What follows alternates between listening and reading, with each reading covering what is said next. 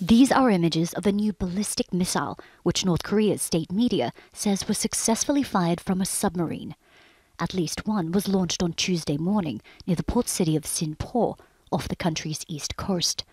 Pyongyang says the weapon has guidance technology, which could make it harder to track and intercept. The advancement towards a submarine launched missile is actually a pretty big step. I mean, the, the most obvious thing it gives North Korea is tremendous range, right? I mean, you could send the submarine basically anywhere in the world as long as it remains undetected, which is something of a challenge depending on the sub's age and engine type. But I mean, as long as it remains undetected, I mean, you could effectively launch from anywhere. Both South Korea and Japan say the test was deeply regrettable. The US has condemned the launch and repeated calls for a meeting with Pyongyang. We call on the DPRK to refrain from further provocations and engage in sustained and substantive dialogue. And our commitment to the defense of the Republic of Korea and Japan remains ironclad. Uh, these launches also underscore uh, the urgent need for dialogue and diplomacy. Our offer remains to meet anywhere, anytime, without preconditions. North Korean leader Kim Jong un has accused the US of hostility and says his country must defend itself against its enemies.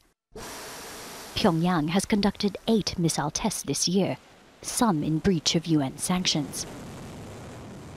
In September, it claimed to have launched a hypersonic missile.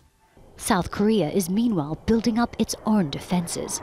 On Wednesday morning, President Moon Jae-in spoke at the opening of a weapons fair in Seoul.